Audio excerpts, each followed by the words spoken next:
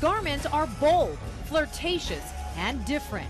Original ideas from fashion design seniors at the University of the Incarnate Word. I have wanted to be a fashion designer since I was six years old and started making napkin wedding dresses for my Barbies. I knew when I was in sixth grade, I started cutting up sleeves, adding beads to shirts, and I just thought, you know, that would be a really interesting career.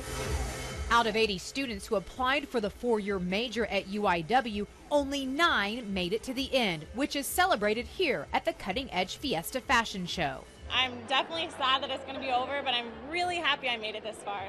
A fashion show at Marriott River Center produced entirely by UIW students, showcasing the culmination of their entire college experience. We've learned what it takes to edit, what it takes to accessorize, what it takes to sew, and it's just, um, there's so much that I've learned from this experience. When we say rigorous, it means lots of all nighters, lots of coffee, lots of hand sewing, blood, sweat, and tears kind of thing.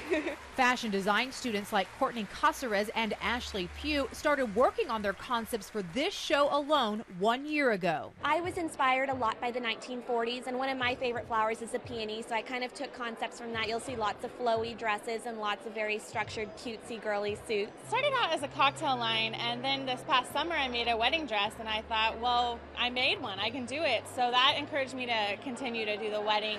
Ashley Pugh, the overall winner for her wedding motif, a first for the Cutting Edge show. Just never doubt yourself. Do what your passion is. Just do it. Don't hold back.